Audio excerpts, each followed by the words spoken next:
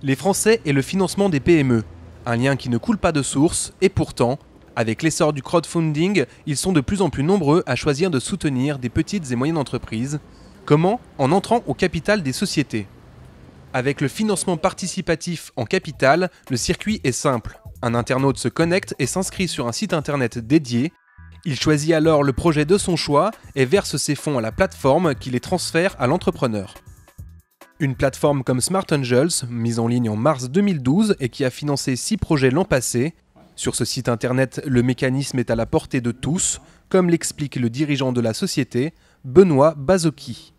Vous arrivez sur, notre plateforme, vous vous inscrivez euh, et puis vous, pouvez euh, accéder au dossier, euh, au dossier d'investissement. vous avez accès à une documentation complète sur, sur, chaque, sur chaque opération qui vous permet de décider hein, de, de, votre investissement et puis vous souscrivez entièrement en ligne. Donc la chaîne de l'investissement est entièrement dématérialisée et c'est vous qui composez vous-même votre portefeuille. Alors c'est ouvert effectivement à tout le monde. Il n'y a aucune, aucune sélection particulière hein, sur, sur les, les investisseurs. Euh, et les tickets minimum sur les opérations sont variables. On a à partir de 1000 euros, euh, vous pouvez déjà investir dans les entreprises. Au total, on trouve 11 plateformes de crowdfunding sur la toile. Autant d'opportunités pour les entreprises qui cherchent à lever des fonds de poursuivre leur développement. Une occasion que n'a pas manqué Stéphane Marapodi, cofondateur de la société Bleu comme Gris, et qui a levé 500 000 euros auprès de 23 investisseurs au printemps 2013. Mais pourquoi avoir choisi le crowdfunding?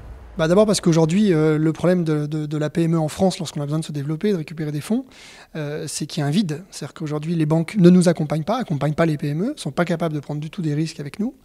Et puis qu'on est, euh, lorsqu'on est en amorçage, on est trop petit pour les fonds d'investissement. Aujourd'hui, tout ce qui est cross-funding permet la rencontre entre des PME comme nous, des startups, et puis des investisseurs privés qui souhaitent soutenir le développement des PME.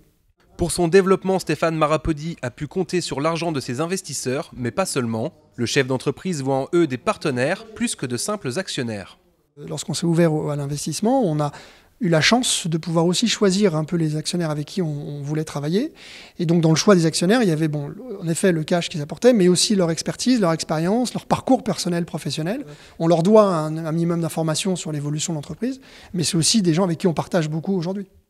Un sentiment partagé par Amin Smaï, cet entrepreneur s'est récemment laissé tenter par le projet de la société Nayo Technologies, le concept commercialisé des robots conçus pour soulager les agriculteurs. Pour Amin Smaï, le crowdfunding, c'est également un moyen de partager ses expériences. Au départ, moi je suis entrepreneur et donc je suis passé par tout ce parcours de levée de fonds, de chercher de l'argent, de galérer énormément. Et euh, là, ce que je me suis dit, c'est si je peux aider des entrepreneurs pour atteindre leurs projets, pourquoi pas? Aider un projet, une possibilité qui pourrait s'étendre au plus grand nombre, les mesures annoncées par l'ex-ministre Fleur Pellerin devraient permettre de décloisonner ce mode de financement.